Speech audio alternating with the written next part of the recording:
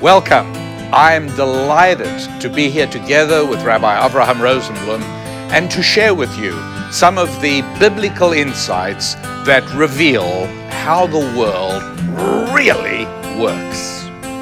And what's so wonderful about this special opportunity that I enjoy is that we're going to focus not only on the substance, but also upon the soul. You will hear the sounds of ancient Jewish wisdom as well as the words. Thank you for joining us. Well, Rabbi, it's a great pleasure to be here with you again. What's today's special Bible topic? Well, this is terrific. We've got an opportunity today uh, to talk about something that everybody knows something about. They've made movies about it the story of Noah mm. and the flood.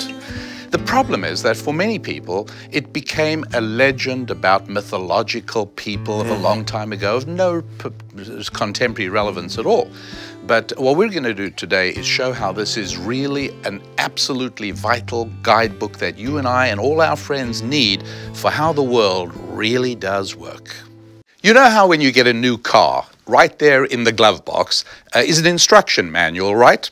Now, a lot of people don't pay any attention to that, but uh, those of us who enjoy a car and expect long and reliable service, well, we, we do pay attention to that. And uh, that manufacturer's manual in the glove box is exactly how I view the Torah. In ancient Jewish wisdom, this book in front of me is the manufacturer's instruction manual. That's what it is. This is a book that shows us how the world really works. What do I mean? Well, here's one very important rule. And, and as any enthusiast of ancient Jewish wisdom like you already know, there are no superfluous verses in the whole Torah. There are no superfluous sentences. There are no superfluous words or even letters. And that means we have to look at things very, very carefully. Um, I'm going to tell you about two verses having to do with uh, the life of Noah. But uh, I'd, I'd, like you to hear them in the Hebrew first and then the English. Now, I know that you probably don't know Hebrew yet, but um, you will nonetheless very much enjoy the cadence and the sound of the Lord's language. Here is one verse, and we're looking at chapter 5 in Genesis, verse 32. Vayehi Noach ben chamesh meot shana, vayoled Noach et Shem, et Cham, ve'et Yafet. That's the last verse in chapter 5. Now we're looking at chapter 6, verse 10, right? Just 10 verses later. And uh, this reads, Eile vayoled Noach shlosha banim. Vayoled Noach shlosha banim et Shem, et Cham, ve'et Yafet. Now in English, the first verse I read to you, chapter 5, verse 32, says, um, And Noah had Shem, Cham, and Japheth when he was 500 years old. Okay. Just 10 verses later, we read, and Noah gave birth to three sons, Shem, Ham, and Japheth. Now, look, I've got to explain something to you, and, and you understand the Bible is not meant for people with short term memory loss. Right? It's not telling us this because you've already forgotten what went before. So, why on earth would the Bible tell us that Noah had three sons, Shem, Ham, and Japheth, just 10 verses after it already told us that Noah gave birth to Shem, Ham, and Japheth. Why could that possibly be? And the answer is stunning and very significant to each and every one of you. You might be a, uh, a child, you might be a parent, you might one day be becoming a parent, maybe you're a grandparent. But wherever you are in life, this information is valuable to you. You see, there is one very big difference between verses chapter 532 and verse and chapter 6 verse 10. Big difference. The big difference is that chapter 532, if you listen carefully, it just says that when he was 500 years old, Noah had Shem, Ham, and Japheth. No mention of the word son. But in chapter 6, verse 10, it says, And Noah had three sons, Shem, Ham, and Japheth. What's changed? Well, think about this. Anybody can, can conceive a fetus. Anybody can make it a male fetus. 50% of the time it's going to be a male. It's just that not it's just not that hard to give birth to a male. I mean, as far as a man is concerned, there's not even a lot of work involved. This is really easy. But to end up with a son Now, that's a totally different story. You see, in Hebrew, the word stone means father son. And when we think of stones, we think of permanence. We think of buildings that are going to stand forever. In Hebrew, the word even, it means a stone. It's made up of the two words av and ben, father and son.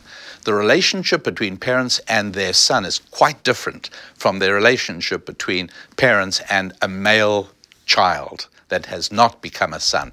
So, how did Noah convert three people, Shem, Ham, and Japheth, who just were born? How did he convert them into the three sons, Shem, Ham, and Japheth? Well, you have to think about what's been going on here. What's been going on here is that for 120 years, Noah has been working on the ark.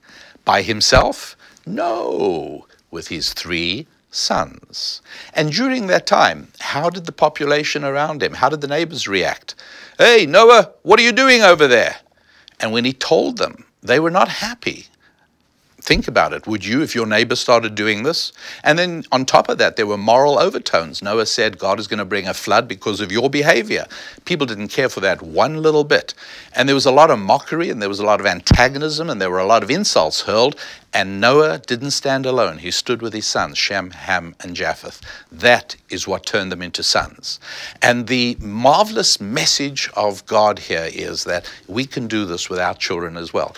Don't conceal from them what you live for. Don't hide your values from them. Don't conceal your mission in life, the things you really live for, make your children part of that.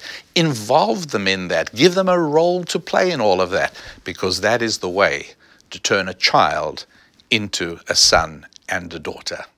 Rabbi, that's a lesson, a true lesson for all of mankind and how we should work together.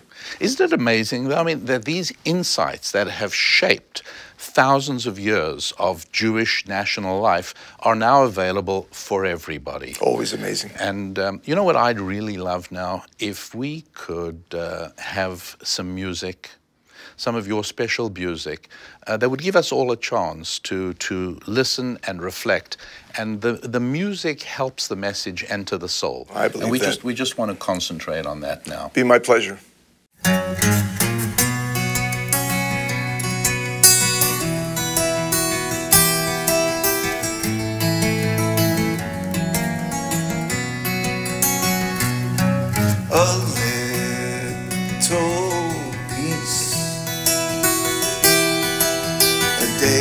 Of rest and ease.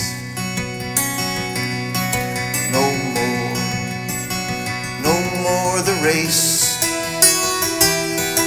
Each man's a king, but in his humble place. Shabbat Shalom. It's nice to be at home. Shabbat Shalom. Mhm. It's nice to be at home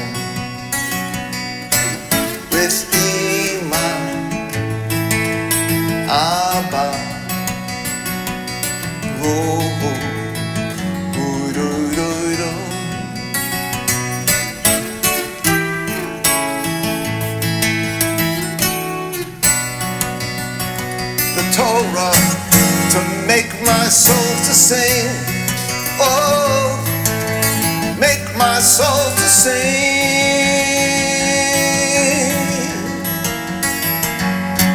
Shabbat Shalom. It's nice to be at home. Shabbat Shalom. Nice to be at home.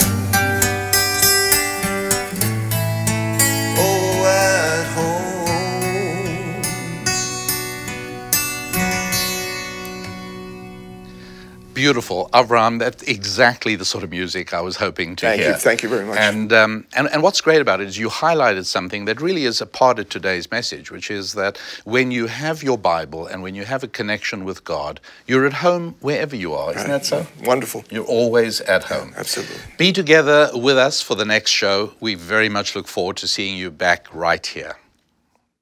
This is my latest book, Business Secrets from the Bible Spiritual Strategies for Financial Abundance. Are the secrets that have brought my people disproportionate business success only for Jews? No, of course not.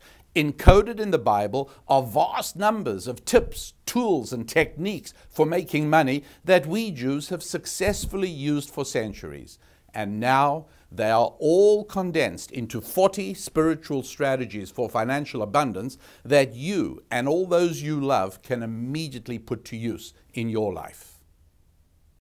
Thank you for investing your time with us today and for giving us the opportunity to share with you 3,000 years of ancient Jewish wisdom, presented in a way that we hope will enhance your life, enhance your faith, enhance your family, your friendships, and yes, even your finances. Thanks for being part of this. Make sure you see the next show, and also please visit our website, www.rabbidaniellapin.com.